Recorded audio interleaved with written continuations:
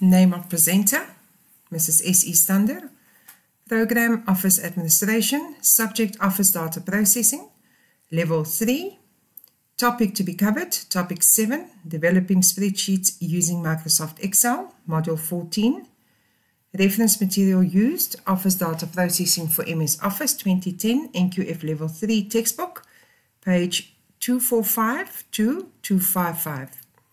Resources required by student, textbook, and a computer. Topic 7, Module 14, Unit 14.3, Format Charts, Change Chart Options. In the previous video, I showed you how to insert a chart in Excel. Now I'm going to show you how to format chart, charts in Excel using the Design tab on your toolbar.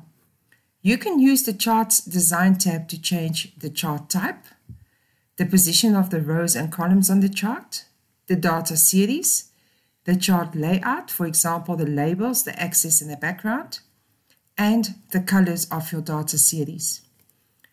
If we go back to our Excel and our chart that we've inserted, as soon as you select your chart, select means you click on it so that you can see the little block around it.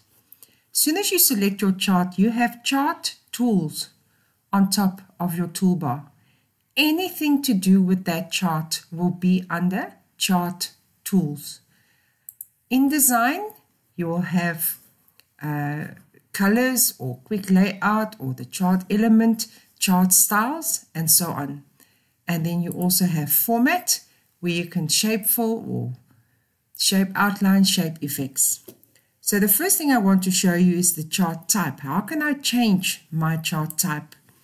I get a, a question where the chart is already done and they tell me I must change this chart to another type of chart. So I select my chart, I click on design and on top you will see there it says chart change chart type.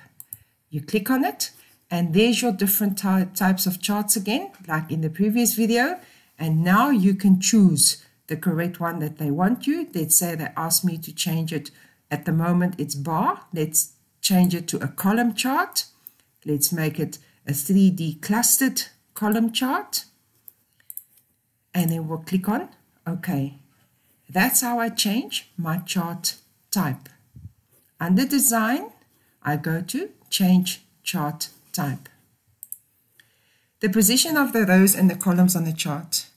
It's not advisable to change the position of the rows and the columns on your, on your chart because it might mean that some of your chart information will be cut off. Data series. If I go back to my chart and I go to data series. Remember, we selected this information when we wanted to create the chart. So if I need to change the information that I want to use in my chart, I can go to select data, under design, go to select data. Then I'll jump back to my worksheet where I've made my choice or my selection of data that must be in my chart. I can now, there's my select data source window.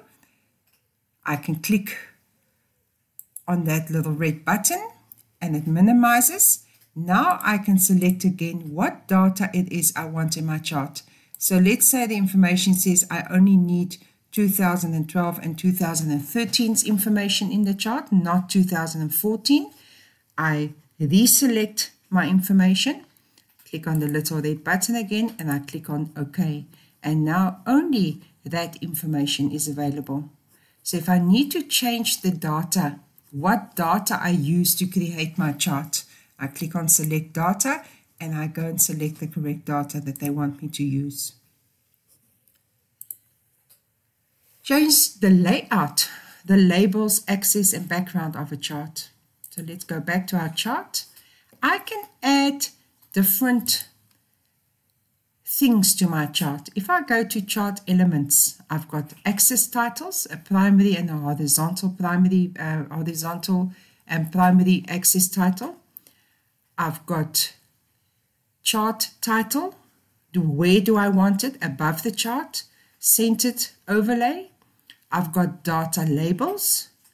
I've got data table. I've got grid lines and I've got legend. So if I need to put in a chart title, I can go to chart title, click there. I want it above the chart and there is my chart title. Now I can just click in the block and I can delete whatever is there and I can type in my chart title. If I need to add axis labels or axis titles, I can go to the primary horizontal title axis title, it will be at the bottom. And I can type in the block whatever the title is that they give me to type. So if I need to add labels or titles to my chart, I go to chart elements and I choose whichever title or data label they want me to do. Make sure you read your instructions. Where do they want it? For instance, right, top, left, bottom. Uh, the chart title, must it be above the chart? The axis title, must it be horizontal or vertical? So please read your instructions very carefully when you insert your titles and your labels on your chart because there's different positions and you might lose marks. So under design for chart tools, chart elements, I've got my axis titles and data labels. The color of the data series, I can also change the color of my chart. So if I select my data series, which will be the, the columns here, I can go and change the color, change color, and I can choose whatever color it is that I like to change my title or my, my data series in my chart. As soon as I click on it, the color of my chart changes. Chart styles, there's different types of styles. I can choose which style, they all got different names, style 5, style 4, style 11, depending on your instruction. You just click on it and the style of your chart changes. Unit 14.4, print charts. Printing a chart that's in the same worksheet as the spreadsheet or printing a chart, that chart that's on a different worksheet from the spreadsheet. So if I go back, remember this chart we saved in its own worksheet. But if I go back to my information here, I've inserted a chart on the worksheet that I've used. So I can just go to File, Print, and my document will print with the chart and the information. But if I just need to print the chart and not the information. I can select my chart. I can go to File, Print, and only the chart will be selected and will print, and I can click on Print. If I have saved my chart in a different sheet, like this one, I can just select the chart in the sheet. I can go to File, I can go to Print, and there's my chart, and I can print it as normally.